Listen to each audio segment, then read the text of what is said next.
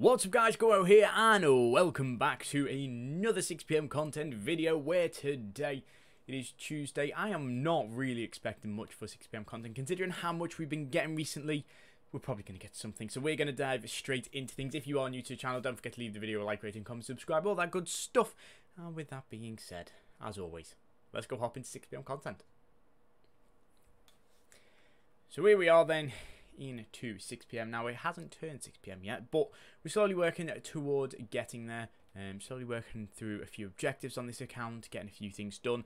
There is a very good pack pull on this account. If you guys are unaware, we stream over on Twitch. But what I will say is we packed a massive icon. It is available to watch on TikTok right now. YouTube Short will have it in the morning, so keep an eye out there because, yeah, it's worth nearly one and a half million coins and well, the reaction was quite good. But anyway, it is 6pm. We're going to check out what we've got. The first thing I want to do is check out an SBC because I have a feeling on a Tuesday we normally get a player SBC. So wouldn't be shocked if we have something today.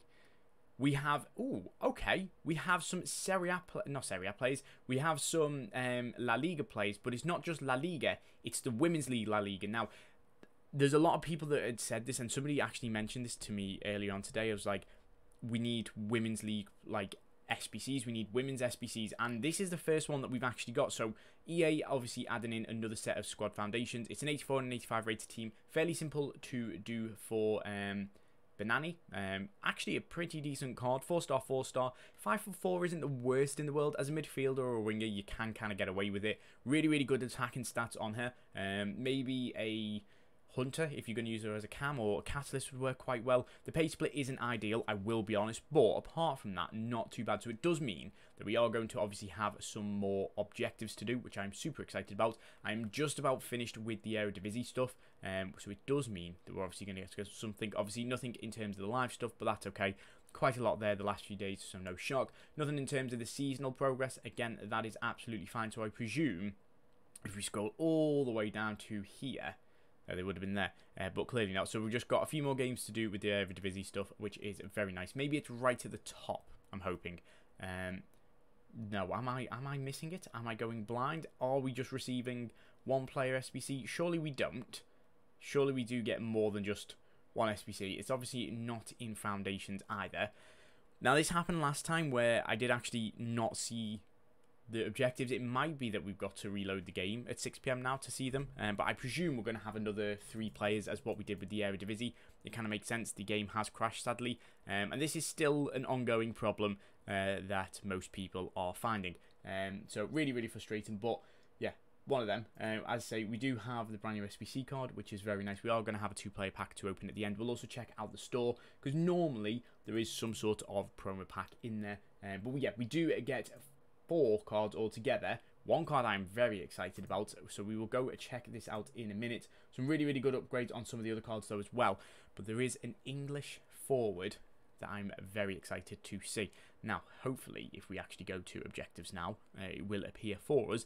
And if not, we will use the fantastic services of FUTBIN because they always seem to have the content for us, um, so we can check them out. We won't be able to check out the full stats, but here we go. So we have the Bajid, Babajide, four star, four star, can play left wing, right wing, on the left mid, and as a striker as well. So really, really good options. She's English, so super easy to link. Her stats actually look really, really good. Some okay playstyles on it. The rapid is really, really good to have, and then quick step. She is five foot nine, so very usable. Um, again, this card with a Deadeye with a Maestro is a very, very usable card. And then we have obviously have the centre back in Ojeda. Um, probably needing a shadow on her.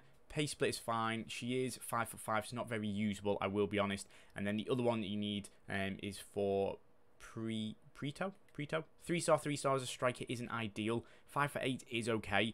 Definitely going to need either a hunter or an a hawk maybe. But either way, not a great card. So personally for me, Babajide is definitely worth doing. Probably the SBC is worth doing, especially if you've got the fodder right now. But apart from that, not really too good, I will be honest. So in terms of packs, we do have just the standard 25k and 45k packs. That's fairly respectable. So to finish things off, a decent little day for content, more player SBCs, which you do not mind.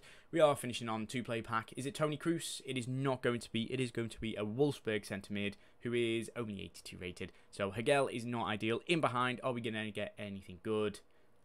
Not ideal, but let me know what you guys getting in packs. Are you going to do the brand new objectives? And for now, that's what we're going to leave it for today. I'm out. Peace.